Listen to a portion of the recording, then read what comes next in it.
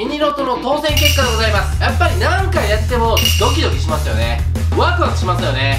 はいの当選番号はこちらです。え？私が選んだ数字はこちらです。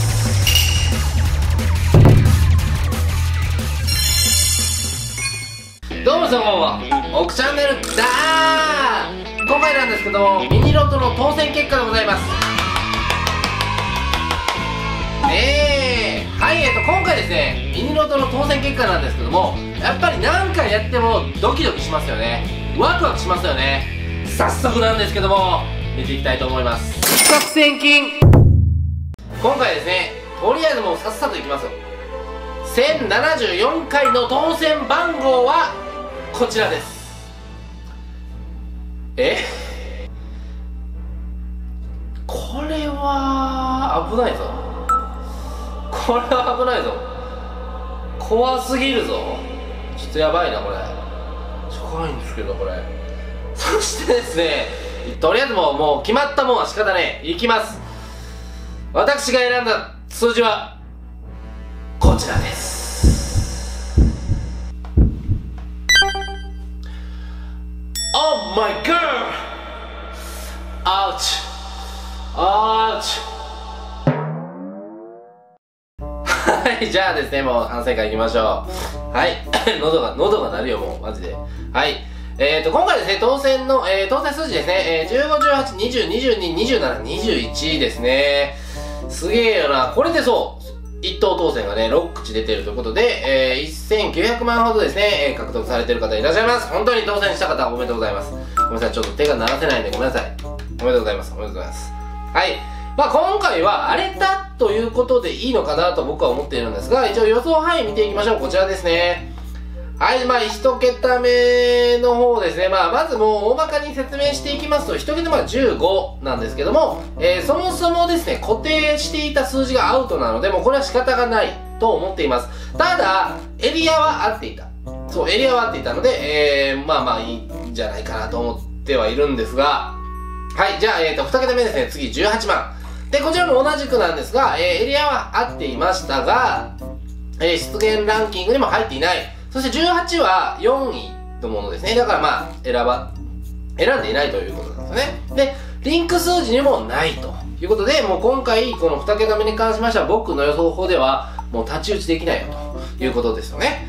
で、えー、3桁目ですね、えー、20番ということで、えー、エリアは合っているんですけども、えー、ただ、ランキング3位のものですね。で、えー、リンク、えー、ファ、えっ、ー、と、で、リンクの方としましては、ビンゴ5から、えー、20番なんですけども、えー、僕が選んでいなかったということで、もう最低ですよね。最低です。はい。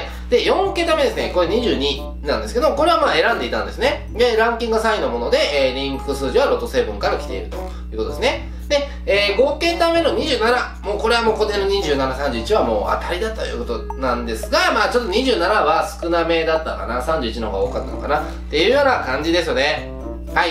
で、えっ、ー、と、一応少し、えー、まあ、やってみて思っては、えー、少しやってみて思ったんですが、まあ、固定の選び方っていうのは、やはりですね、決めつけと、えー、諦めの2つの、えー、マッチングだと思っているので、もうこれはまあ外したとしたら仕方ないと思うんですが、まあ以外のですね、やはりね、2と3と4の選択のもうちょっと精密さをね、えー、どんどんどんどんこう寄せていかないとダメだなと思いました。はい、じゃあ、今回ですね、まあこんな結果ではございますが、えー、私の動画いいなと思いましたらぜひですね、グッドボタンお願いいたします。そして、お前の、えー、高額当選、なんかありえるよねと。今のうちに、お前、ちょっと見、見続けてやるという方いらっしゃいましたら、ぜひね、チャンネル登録をお願いいたします。はい、じゃあ、えっと、今日はですね、ちょっとすいません、短い動画ではあったんですけども、ミニロトの1074回の動画でございます。はい、えーと、なかなかね、えー、外に出るのが難しいという風な、えー、感じに、えー、世の中なりつつあると思うんですけども、家でできることの一つとして、やはり宝くじのネット購入というのも一つあります。はい。で、別に、えーと、たたくさん買うと、えー、もったいないなと思う方もたくさんいらっしゃいますし、僕ももともと昔はそうだったんですけども、やはりですね、えー、こういったこと、えー、こういった時期に何か新しいことを始めるっていうのも、えー、人生を楽しむ一つの方法だと僕は思っておりますのでまあその一つにですね宝くじっていうのも選択肢に入れていただいてもいいんじゃないかなと私は思っております。はい。まあなかなかね簡単に当たらないんですけどこういう時だからこそ買ったらもしかしたらワンチャンスあるかもっていうねこれぐらいの確率なんですけどあるかもっていうのも一つ、えー、醍醐味じゃないでしょうか。では皆様ご視聴いただきましてありがとうございました。